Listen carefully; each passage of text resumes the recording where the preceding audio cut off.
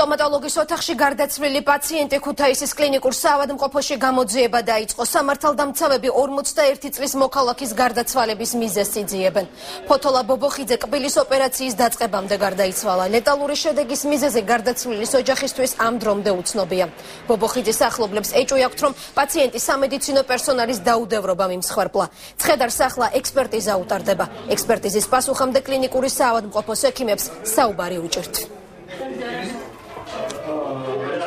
არ ვიცი რის ნიადაგზე გარდამიცვალა გარდამიცვალა მეუღლე პასუხი არ ვიცი სწორი რის ნიადაგზე დაიღუპა გუკეთეს ესეთი ჩანშუს რომ დაახჩეს სალაზე მოკლეს.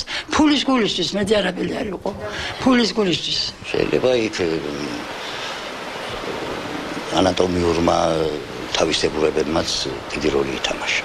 ექსპერტიზის დასკვნის შემდეგ უფრო ნათელი გახდება